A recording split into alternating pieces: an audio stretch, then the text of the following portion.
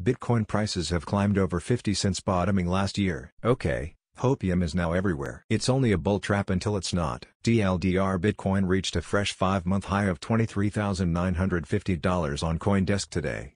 The digital currency had climbed roughly 53 from the local low of roughly $15,600 that it reached in November. Further, it was up more than 40 since the start of this year, when Bitcoin was valued at $16,500. This summary is auto-generated by a bot and not meant to replace reading the original article.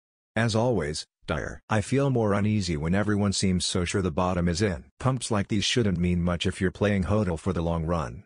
Just stick to your DCA strategy. RIP to those who were waiting for 10k BTC. Still a long way to go for many people to recover from their losses. Selling now is kind of pointless because the potential of BTC is insane. I've been DCAing since 55k so not exciting news for me. I'll keep accumulating SATs.